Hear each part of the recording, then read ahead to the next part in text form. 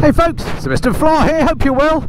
Well, quite an exciting day for me today because you find me here in Watford where I've just jumped on this bike which is the brand new for 2021 Royal Enfield Meteor. Stick around, stay tuned, I'll tell you what I think of it.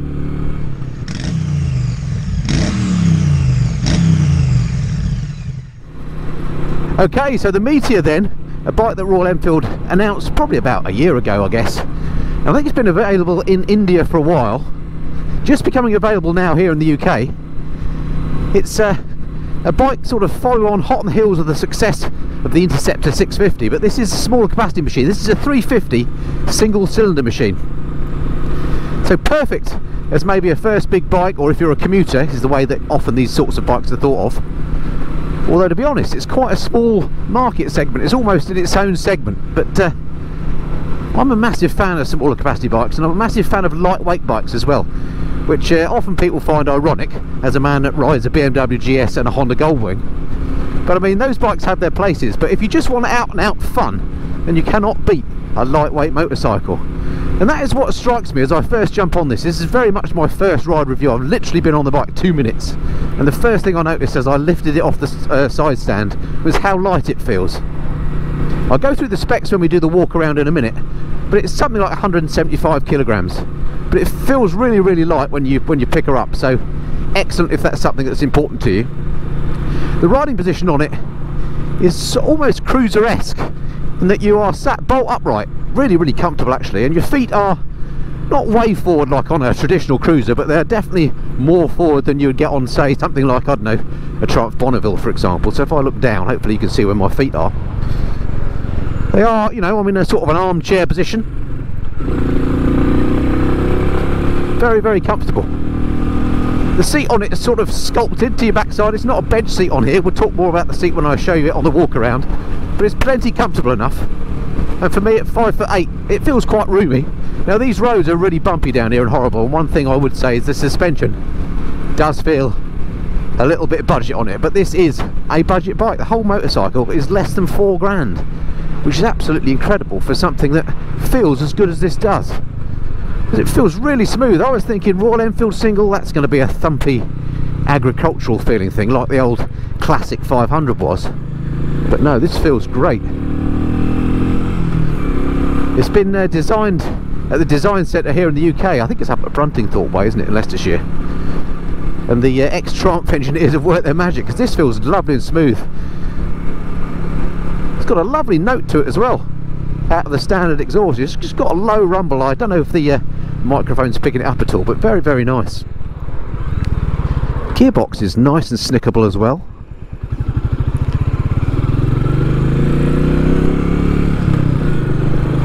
Yeah, gearbox is really easy to use.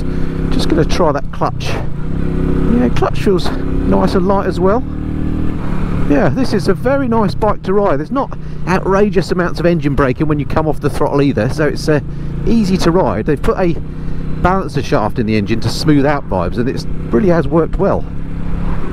I don't think I'm exaggerating to say this is probably the smoothest single I've ever ridden. Some of my other favourite singles are things like my old Honda CRF and the KTM 390 Duke they're great singles as well, but this feels smoother than both those to me. But the noise it makes does still mean you've got that character. Oh, it's lovely and light. There's a sort of second bike for riding on a Sunday. This would be absolutely perfect. Now again, for a bike that costs so little, Royal Enfield have worked wonders on it because the uh, instrumentation on here is beautiful. They've got a classic analog speedo with some LCD bits and pieces in between, including a proper fuel gauge, I'm glad to say. But the thing that uh, I'm really impressed with is this, the uh, Royal Enfield Tripper device. It's like a little sat-nav that hooks up to the Royal Enfield app on your phone. I've got this hooked up to my phone at the moment. I'm not following it, but I just put on a local CAF to show what the presentation is like. It's, uh, it's a brilliant little thing. It's in colour. It's a little bit like the, um, the little sat-nav I, I have, which I can't remember what it's called. I'll put it on the screen. Let's just come round this roundabout turning circle is brilliant on here easy to ride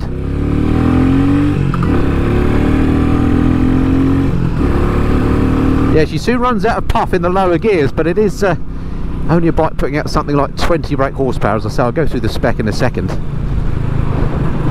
But it doesn't feel slow by any means. It just feels really light and agile.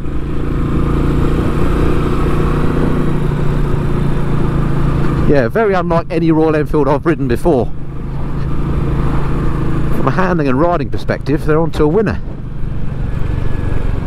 So yeah, back to this Tripper. So you download a free app, the Royal Enfield app, and you pair your phone with it, and then it uses Google Maps to route you to wherever you want to go. So that means you don't have to mount your phone up on the handlebars and potentially damage your phone through vibrations or whatever. Not that this bike is vibrating uh, and you've got a really nice presentation and it's in colour. I like that. Apparently you're going to be able to retrofit these to other Royal Enfields as well in the future so if you've got a 650 Interceptor or a Himalayan I think you can get those fitted at a later date at some point. Yeah gearbox is really nice on here. Mirrors on here the big stalky Royal Enfield ones same as you get on the uh, 650 I think. They work fine no vibrations through them particularly. They look horrible though don't they? Big Mickey Mouse jobs. I think I'd swap those out immediately for the uh, the slightly better uh, I think they have some touring mirrors that you can get or get some aftermarket ones. But they work well though. I suppose they're in keeping with the look of the bike but they don't uh, they don't do it for me. Brakes work really nicely on here. It's got the ByBre calipers on here which are the sort of uh, low end Brembo ones if you like. Certainly seem good on the front. Nothing behind me. Let's just try the rear. Uh, rear brakes alright listen to the engine note on here. It's fantastic brilliant fun.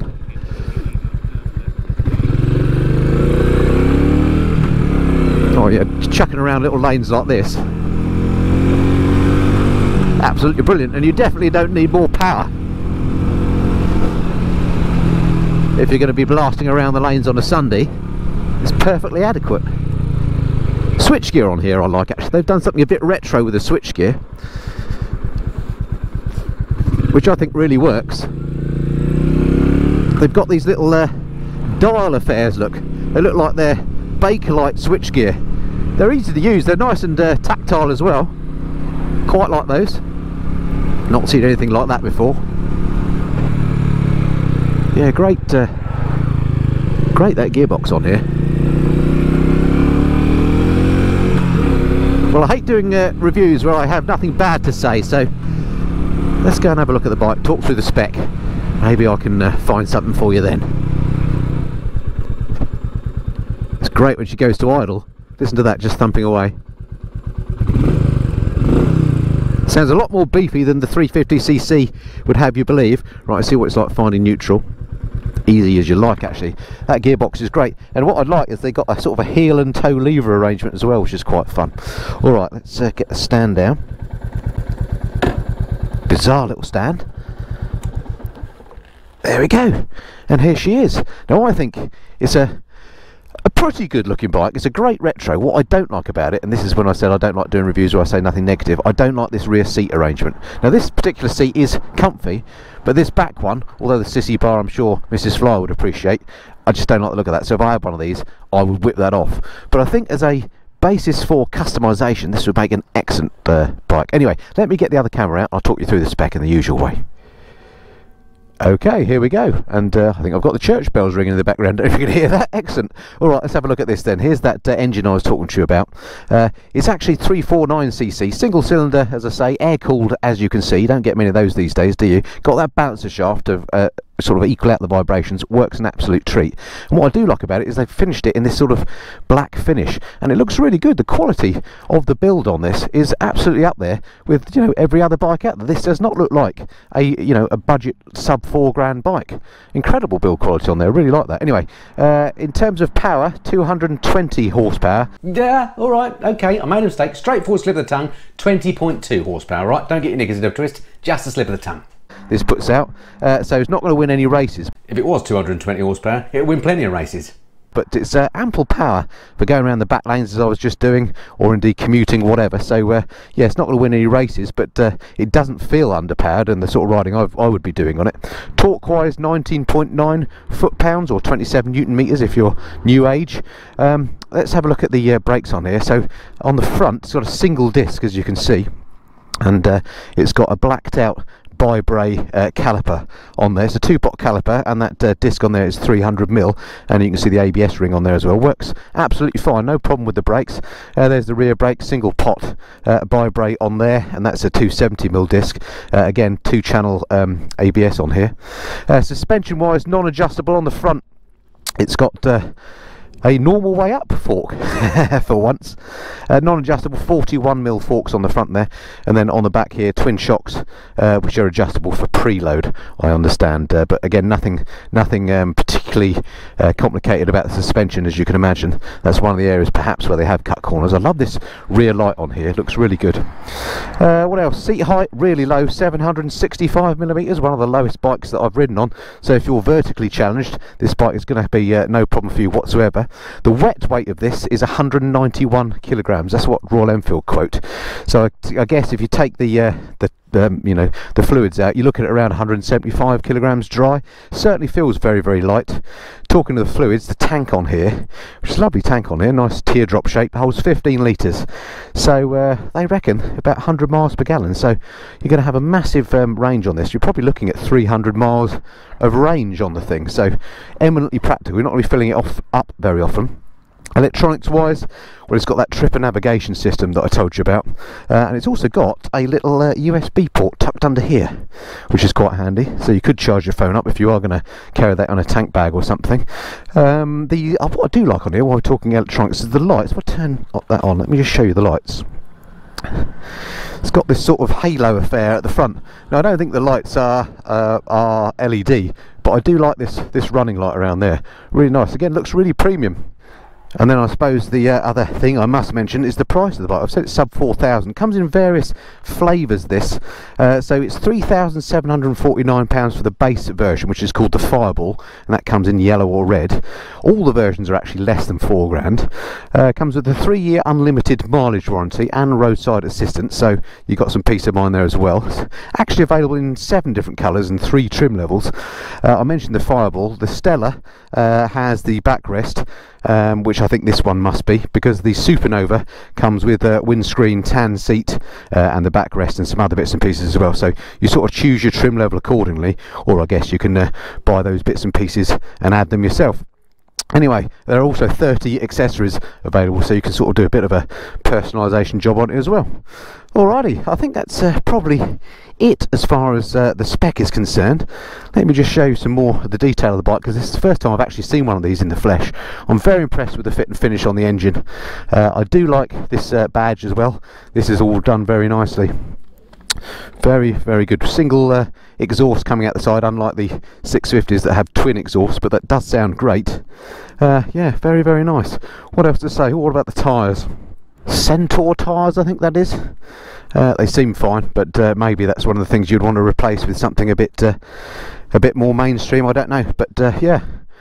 So for me, lovely handling, lovely riding bike. Not sure about the looks of that rear seat. I think if you whipped that off, that rear seat, it would then be almost Bobber-esque, wouldn't it? And look, would look fab. Anyway, let's jump on, ride us some more. So out of all the uh, all the meteors, this is possibly my least favourite colour. They do, as I said, there are nine colours available, and uh, some of them look really good. So uh, obviously, all a matter of personal taste. Gosh, it does feel light when you get on it. Really comfy and light. Nothing about this so far that I don't like in terms of riding it. Uh, the the little starter is great on here. Look, we're in neutral, so just do that, and then you've got the